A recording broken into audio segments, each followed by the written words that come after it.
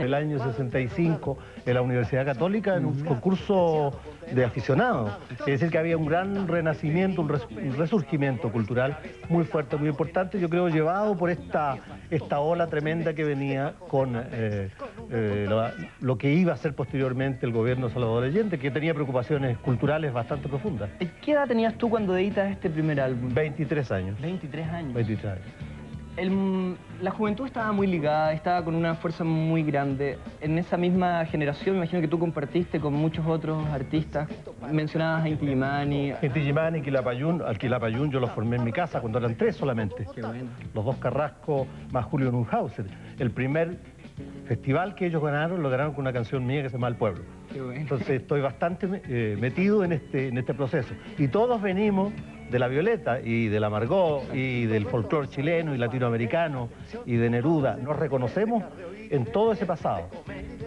Y había una instancia, bueno, como yo te decía, yo tenía menos seis cuando yo nací el 72. Entonces todo para mí tiene como una cosa, es, parte de mi vida, pero una forma muy subliminal. Y siempre me hablaban de las peñas. Tú participaste mucho en Peña, grabaste bueno, disco en Peña. La, la Peña de los Parras era un centro cultural en agitación permanente. Venían cantantes, eh, Silvio, Pablo, también estuvieron cantando ahí, eh, Paco Ibáñez, François Rabat, gente de Europa, Salvatore Adamo incluso. Eh, es decir, un centro muy abierto, no era algo cerrado y sectario. Se trabajaba jueves, viernes y sábado, se hacían clases de artesanía, clases de economía, de educación política, de yo hacía clase de guitarra, eh, la gente del sector de la séptima comuna, como se llamaba en esa época, venía a aprender danzas chilenas.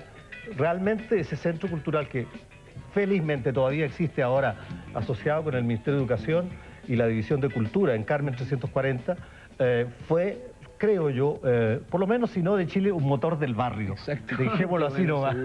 que, que, tuvo después repercusiones internacionales y hemos presentado nosotros con mi hermana Isabel la Peña de los Parras en distintos puntos del globo. Hay un momento dramático que tiene que ver con el 73, con tu exilio, con la desaparición de estrellas como... Cuando digo estrellas no hablo del show business, sino no, no, no, yo te entiendo. gente luminosa como Víctor Jara.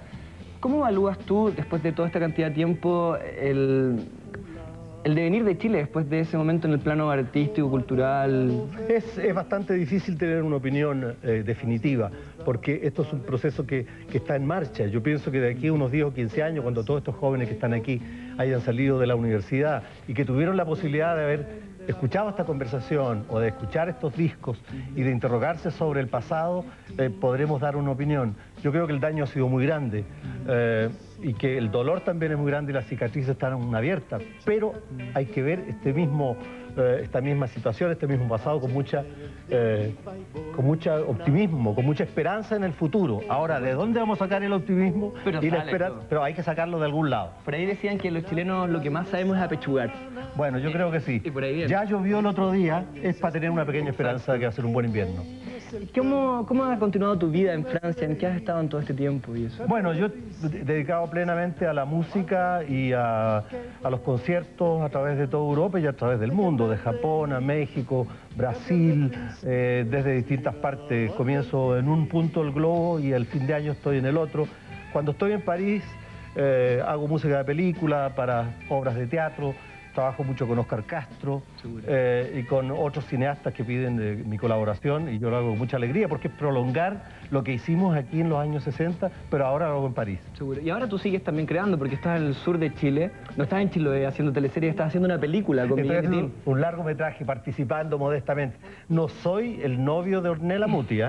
para nada. Pero igual algo le tenés que haber hecho con los vivos. Algo, algo así de Yo hago el, represento la, la, la voz que va contando la historia, el cantor, es un poco la, memoria también de la película. Esto se trata de la, de la conquista de la Patagonia en 1860, basado en el libro de, de Coloane, de Francisco Coloane, con eh, un guion de Lucho Sepúlveda, eh, dirección de Miguel Itín y música de Ángel Paz.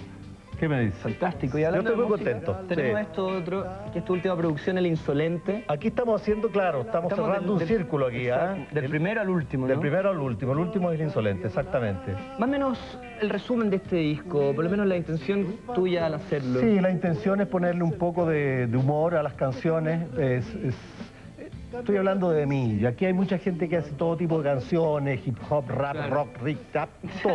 claro. Yo- lo mío yo quería ponerle un poquito de un poquito de humor y volver a la canción política. Me parece que es súper útil que los eh, cantantes jóvenes, que los grupos intervengan en la vida social de este país, porque si no intervienen ellos, siempre van a haber otros con botones dorados que van a intervenir. Por supuesto. Así es o sea, que- mientras más espacios podamos tomar. Absolutamente, en el teatro, en el cine, en la danza, en la música.